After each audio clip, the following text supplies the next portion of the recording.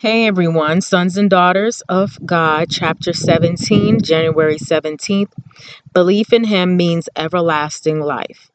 He that believeth on the Son hath everlasting life, John 3 36. When the soul surrenders itself to Christ, a new power takes possession of the new heart.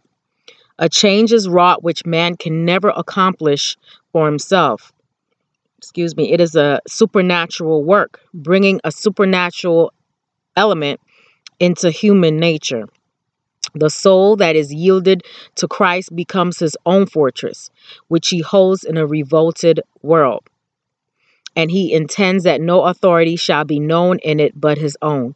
A soul thus kept in possession by the heavenly agencies is impregnable to the assaults of Satan. Wow a soul thus kept in possession by the heavenly angels agencies is impregnable to the assaults of Satan. Christ is ready to impart all heavenly influences.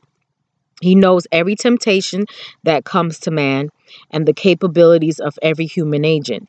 He weighs his strength, he sees the present and the future and presents before the mind the obligations that should be met and urges that common earthly things shall not be permitted to be so absorbing that eternal things shall be lost out of reckoning.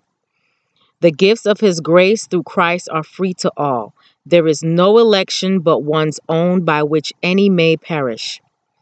God has set forth in his word the conditions upon which every soul will be elected to eternal life obedience to his commandments through faith in Christ.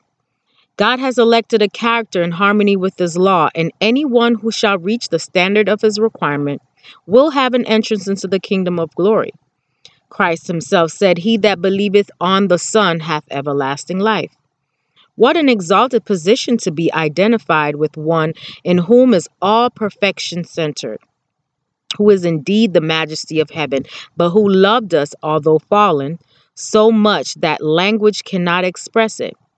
He, for our sakes, laid aside his royal robe, stepped down from the throne of heaven, and condescended to clothe his divinity with humility, and became like one of us, except in sin, that his life and character should be a pattern for all to copy, that they might have the precious gift of eternal life. Have a great day today. You are a son and daughter of God.